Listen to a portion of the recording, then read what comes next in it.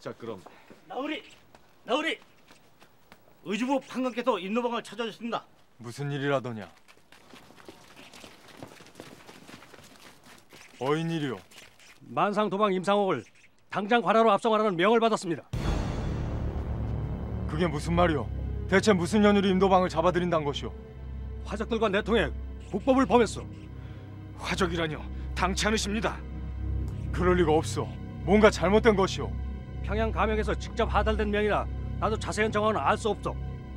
어떠하느냐? 임상옥을 당장 포박해라. 나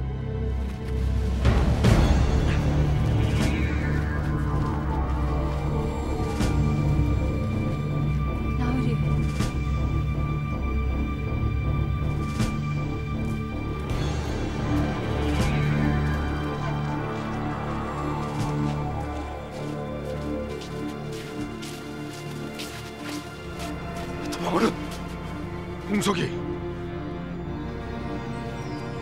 끌고 가라.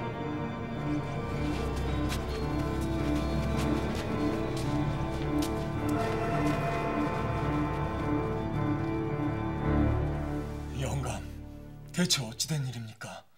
영감께서도 임도방의 성품은 잘 알지 않습니까? 임도방은 구왕염을 풀고 저리대를 놓아 백성들의 숨통을 트이게 해준 사람입니다. 나도 믿기질 않네. 허나 임도왕이 화적들에게까지 구왕념을 풀었다는 고변이 평양 가명에 올라간 모양일세. 틀림없이 뭔가 잘못된 겁니다.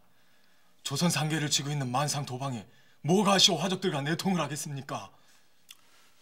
아마도 화전민에게 푼 구왕념이 화적들 손에까지 넘어간 게 아닌가 싶네.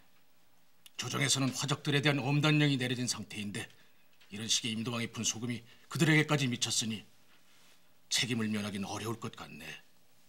물증이라도 있습니까? 평양 가명에서는 이미 모든 정황 증거를 확보해두고 있는 모양이야. 임도방은 곧 평양 가명으로 압송될 걸세.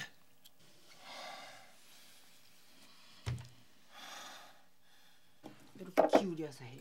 옳지 옳지. 아이고 제가 좀 아이고 어머니, 아이고 아, 형수님, 아이고 어머니. 아이고 깜짝이야. 아니 애 아범이 됐으면 두젓하게 들어보게 좀. 응? 아니 무슨 일인데 그러냐? 아유 저저 큰일 났습니다요. 어머님, 상우경님이 의주 관하에 붙잡혀 갔습니다. 뭐 뭐야? 아니 그게 무슨 말입니까? 저 상우경님하고 본전 홍석이랑 같이 붙잡혀 갔는데 이 만삼도 아니고 prak틱 뒤집혀졌습니다요.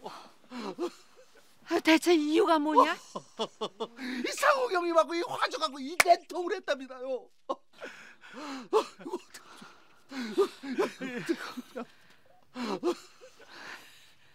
어허, 이 무슨 말을 하느냐 날벼락입니까? 도대체 말이 됩니까? 이 화적이라면은 관아뿐 아니라 우리 상단으로 일을 가는데 화적과 내통이라지.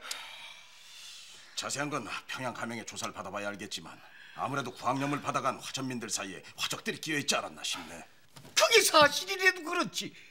고압념을 받아간 자들이 화전민인지 화적인지 무슨 수로 구분을 한단 말입니까? 이건 너무도 억울합니다. 그것도 그렇고 화적들이 구황념 받은 사실을 저들 입으로 떠벌리질 않았을 겁니다. 누군가 도망을 무고한 게 분명합니다. 난 짐작이 가네.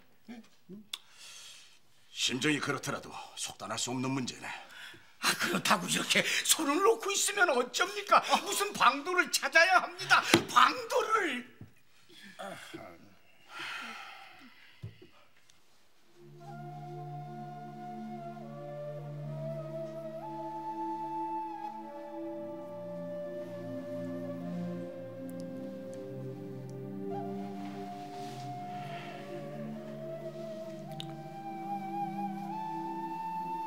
송구합니다. 저 때문에 도박으로까지 곤욕을 치르게 되셨습니다.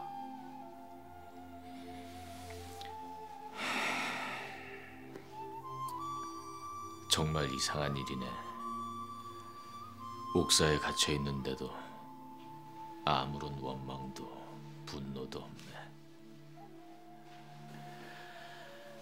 내 한때 관노의 신분이었을 때 육손이라는 화적의 우두머리를 만난 적이 있네. 그자가 함께 태봉산으로 들어가자고 하길래 난 화적은 되지 않겠다고 거절을 했네. 그랬더니 그자가 뭐라고 했는지 아나? 태어나면서부터 화적의 피를 받고 태어나는 사람은 없다. 세상이 자신을 화적으로 만들었다고 했지. 누군들 화적으로 살고 싶었겠는가? 세상이 좋아지면 다시 양민으로 돌아올 사람들인데 그 사람들이 살기 위해서 내가 나누어준 구황염을 먹었다는 게 어찌 죄가 될 수 있단 말인가?